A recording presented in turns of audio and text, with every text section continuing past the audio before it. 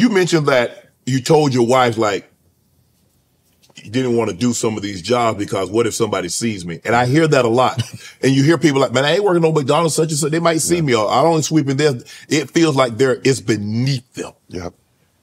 When sometimes, you know, hey, they need all walks to do something before you got to another level, which you said, okay, I got to sweep this floor, but I'm not going to sweep this floor forever. It's right. just a means to an end. Right get me in the door and I'm gonna do something else. So you're on the set of Friday as a security guard. That's right. You had mentioned that you had never ever really told anybody that you wanted to do acting. Yep. You wanted to be behind the camera, yep. not in front of the camera. Yep. And so when did your big break come? When did you get an opportunity? You know what was amazing? I went, I, I had friends in the business because uh, doing security, I knew a lot of location managers. Right. And the location managers would hire the security. And this location manager became a friend of mine. He said, Hey man, Denzel's shooting down here in the jungle. It's a movie called Training Day. You want to come down and take a look? I was like, I get to watch Denzel do his thing. I'm like, yeah, man, I'm coming. I'm, I'm walking. I said, when is it? He said, man, come on. They, they shooting all night. So he said, come, you got to come late, like 10 o'clock. About 11 o'clock, they'll start the filming and the whole thing. And so I'm down there in the jungle, man, and I'm sitting there going, Ooh, and I'm watching this Denzel, the car, the whole, that cul-de-sac, the whole deal. And I'm going, ooh, this is hot. And I'm watching Denzel get ready. He got the chains on. He got the, yeah. the do-rag, the whole thing. Is that the King Kong scene? This is the King Kong scene. Bruh. Now, uh, let me tell you this. And this is, you gotta understand how magical this was, man. Antoine Fuqua, the director, saw me standing there. And again, I, by this time, remember I went back, I went back to the gym. Right. Because I had been going back to the gym about a year or so, I was kind of still in shape. Right. He said, Hey man, you want to be in this scene? I said, I said, yeah. He said, Hey man, just take your shirt off. You got, you see your tank top. Said, I'll put you in the scene. Bruh, I'm like, never acted. You talking about no acting. Right. I stand there, I'm looking, I'm like, okay, okay. And I just got that NFL man, like, like, you know, you, you about to come in, you go, you facing off against somebody. Right. And, they, and I, and I said, just don't say nothing and just mad dog it. I said, oh, don't tell me. And that was it. And so Denzel's doing all this, da, da, da, and you see, I'm just standing there the whole time, like this nigga. I'm, you know, and dude, it changed my life. When you say, like, that went to the Oscars, bro. Like right. it was me and Denzel when they showed that scene on the right. Oscars. My right. mother was like, "You in the Oscars?" I said, "Well, I didn't. I'm not not at the Oscars, but I'm in this scene." And I was like, I was hooked. Like when I say hooked, because all I had to do was just because remember, man, I'm on the NFL field and my mind is already going all right. I was like, this is what I always want to do. I said, man, now I'm in my element. Don't mess this up, right? Bruh, watching this, uh, then I got a chance to look at his script. And his script was on the card. And he had written, The Wages of Sin is Death on the top of his script. I was like, he's stunning. And I watched how he prepared and I was like, that's, that's that level I have to get to. That's what I and, I, and all of a sudden there it was, the acting thing. And what happened was Cube remembered me. He's like, yo, man, you the security guard. Because everybody loved training day. When right. training day came out, he said, man, we doing another Friday. I got a call from the location manager. They said, hey man, Q, people want to see you. I went in. It was me, Katt Williams, sitting next to each other in a little bitty room. And he was like, man, come on in. We got this. Cause Tiny Lister didn't want to do my good friend. Yeah.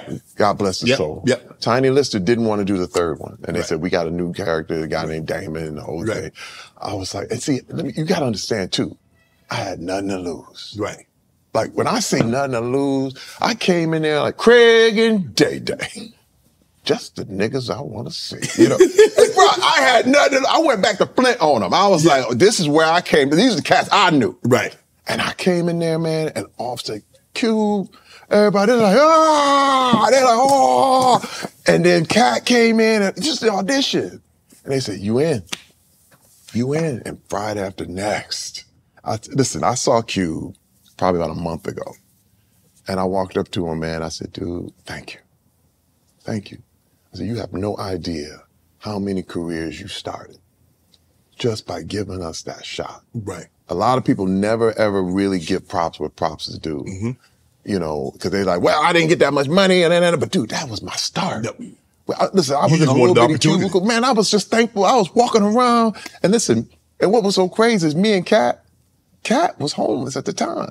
Wow. So Katt was living in his trailer, and me and Katt said, "Hey, man," and I remember talking to Katt. I said, "Cat," I said, "We never get another opportunity. We got to make sure they remember us."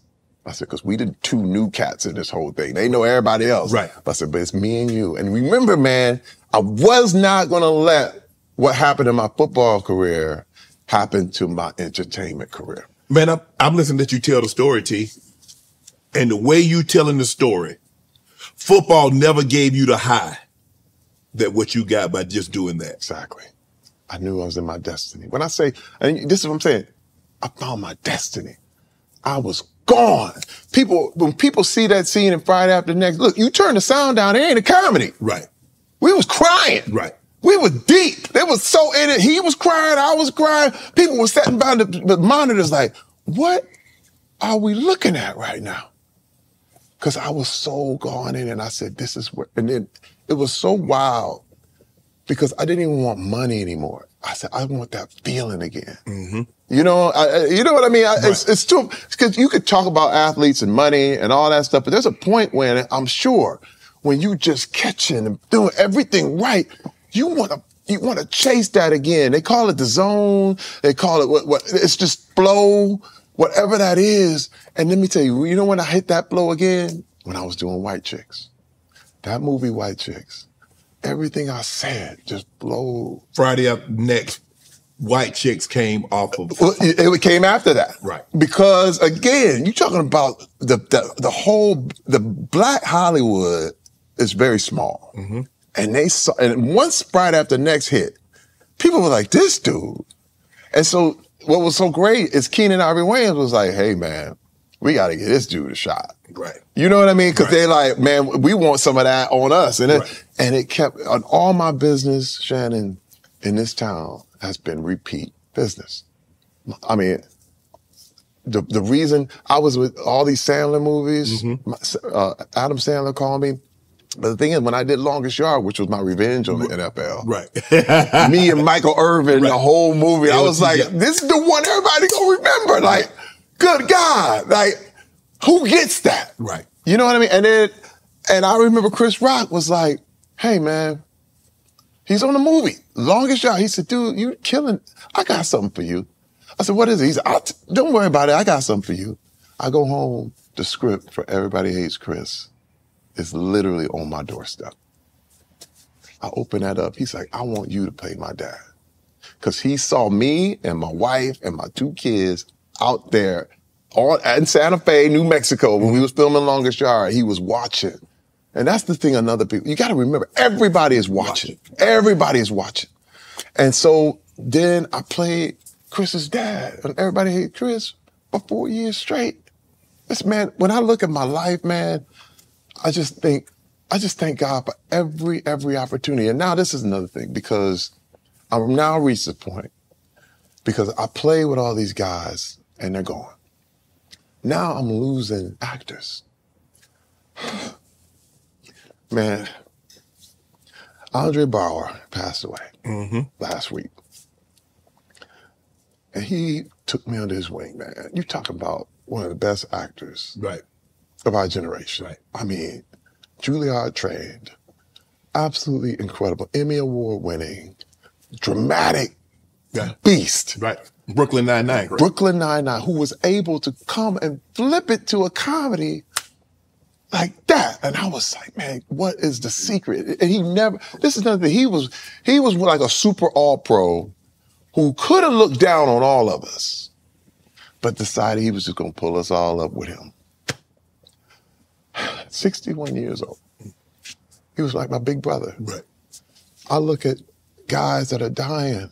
When I look at Michael Clarke Duncan's gone, Tiny Lister gone, uh, Lance Reddick gone. And I'm like Chadwick Boseman gone. We did a movie Draft Day together. Okay, and I'm going, man, you don't have forever. You don't. you gotta go for it. You got to get what you got, what you are come to get now. And you can't waste time. You can't treat it like, well, uh, I'll, whatever. Tomorrow. Because I seen it in the, in the NFL.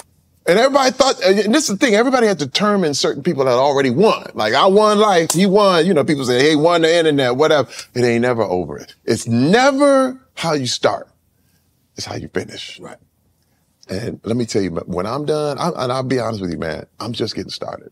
I truly, truly feel I have the same energy that I had when I first started. I'm really thankful to be sitting here with you right now. I, but I, I admire you for it, but just your transition. You know what I mean? And the energy that you bring. Your, dude, your passion is palpable. And I'm the same way. I'm 100% passion. Right. That's all I am. Right. You know what I mean? I don't know no other way. I have no other way. I, I do everything like I'm getting a million dollars. I don't know if you have any horror stories, but Ter- but uh, Terrence Howard said that he was only paid like twelve thousand dollars for doing Hustle and Flow. You have any horror stories in which you felt that you didn't get the proper compensation that you deserve? I first of all, I and I understand what Terrence is saying, but I have never, ever, ever looked at whatever money I got as a horror story. Mm-hmm. If I did it, I loved it. Right. See, but this is the problem. I have a I, there's a saying I have to say: you can't nod yes and mean no. If I nod yes, I looked at the terms and say, okay, you're gonna pay me four grand for two days. Okay. If I said okay, I can't come back later and be like, ah, I only got four grand for that. That's hey man, that's what you presented. Right. So there it is. Don't, ain't no to me. I'm not. I'm not going back on that. Right. And this keeps my heart always full of gratitude, because once I start to complain mm-hmm. about any of that, it starts to mess with my legacy. I didn't get nothing for training day. How about that? I didn't get a zero, but it changed my life forever. You didn't know who I was if it wasn't for a no paying job. First of all, it named somebody to play football for money when they start. You don't get no money. Right. You play football for free. You play basketball for free. Then you get all the way to the pros and you get the millions. Ain't no other way, bruh. There's nothing else. Wait, there's no way to hop, skip, and jump this thing. You see what I'm saying? But that's the thing. People are trying to invent ways to get right to the money. But hey, man, first of all, nobody knew who I was, and I got my shot. I got paid maybe four grand on Friday after next, but that's why I came up to Cube and said, thank you. Thank you. That was a start. That was the start. Now, they, they, they, Ooh, I make money now. Want to join Club Shay Shay? Become an official member by hitting that subscribe button, where you never know who's going to be joining us for drinks and conversation. Don't be late to the party because you know we like to do something before two something.